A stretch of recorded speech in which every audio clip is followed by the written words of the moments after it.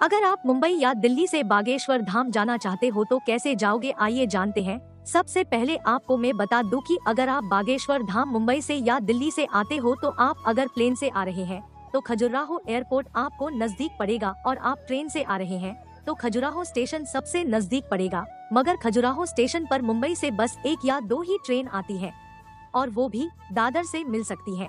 Khajuraho station Bageshwar Dham से 25 से 27 kilometre है स्टेशन पर पहुँचने के बाद आप शेयरिंग ऑटो या बस ले सकते हैं, जिसका किराया 40 से 60 रुपए हो सकता है। अगर मुंबई से आपको खजुराहो स्टेशन की टिकट नहीं मिल रही है तो आप Mumbai to Satna junction station की टिकट ले लीजिए। सतना स्टेशन पर मुंबई से बहुत सारी ट्रेन है, और टिकट भी आसानी से मिल जाएगी।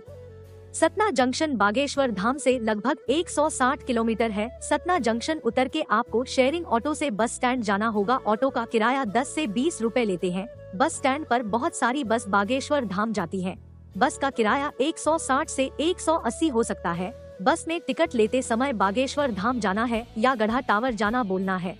बहुत लोग छतरपुर का टिकट ले लेते हैं। छतरपुर का टिकट नहीं लेना है वो टिकट महँगी होती है।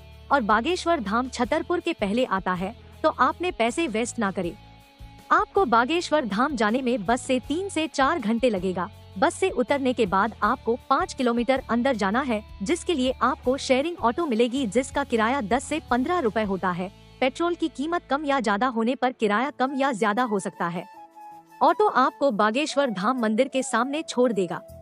अगर आपको एक या दो दिन रुकना है तो मंदिर के पीछे छोटे छोटे ढाबे हैं वहाँ पर सौ रूपए गद्दे रहने के लिए रुकने की व्यवस्था है, और छोटे छोटे होटल भी ही जिनका किराया तीन सौ से पाँच सौ पर डे होता है। और यहाँ बागेश्वर धाम मंदिर के तरफ़ से फ्री भोजन प्रसाद अन्नपूर्णा सेवा के माध्यम से सभी भक्तों के लिए उपलब्ध है। महाप्रसाद का समय सुबह 11 बजे से दोपहर 4 बजे तक और रात 8 बजे से 12 बजे तक चलता है। अब आइए मंदिर के बारे में कुछ बातें जानते हैं। अगर आप बागेश्वर धाम मंदिर में अर्जी बांधना चाहते हैं तो अर्जी का सही तरीका यह है कि लाल रंग के कपड़े में सिंदूर लगा नारियल पाँच लौंग के साथ बांधकर माथे से लगाकर अपनी इच्छा बोलकर। ओम बागेश्वराय नमा बोलकर बागेश्वर धाम मंदिर में बांधना है। अगर आप मंदिर नहीं आ सकते हो तो नारियल अपने घर के मंदिर में रख कर पूजा करना है। और अगर आप शादी या भूत प्रेत के निवारण के लिए अर्जी लगाना चाहते हो तो शादी के लिए पीले कपड़े में नारियल बांधना है। और अगर आप भूत प्रेत के निवारण के लिए अर्जी लगा रहे हैं तो काले रंग के कपड़े में नारियल को बांधना है। अर्जी लगाने के लिए गुरु जी ने कुछ नियम बताए हैं।